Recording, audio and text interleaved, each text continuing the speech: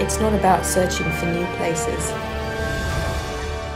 You are your own place.